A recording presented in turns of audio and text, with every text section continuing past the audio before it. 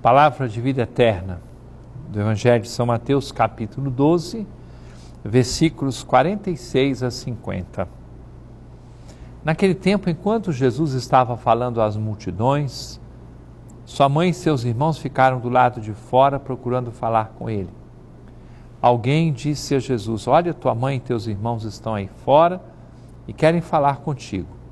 Jesus perguntou àquele que tinha falado: quem é minha mãe? Quem são meus irmãos? E estendendo a mão para os discípulos, Jesus disse: Eis minha mãe meus irmãos.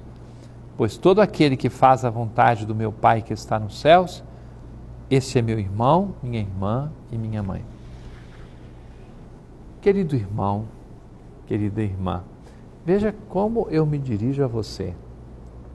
Irmão irmã justamente porque existe um laço profundo que nos une. Nós buscamos a vontade de Deus e entramos na família de Jesus por essa porta que é viver a Sua palavra, fazer a vontade de Deus. A mesma porta que, de uma maneira exemplar, foi aquela que Nossa Senhora entrou.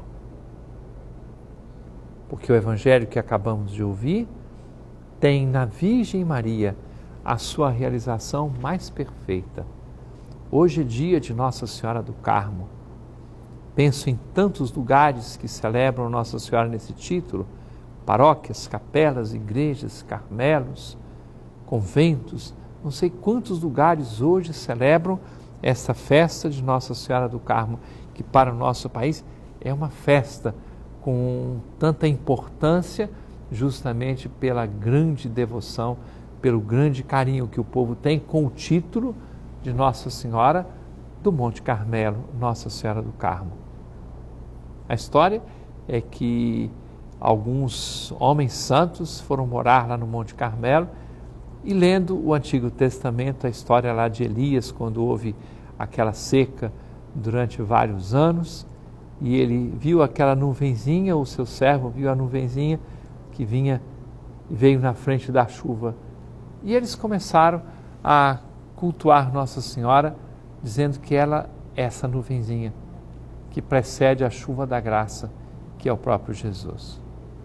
É a Nossa Senhora que nós nos dirigimos, pedindo que ela nos anuncie e nos prepare para acolher a presença salvadora de Jesus.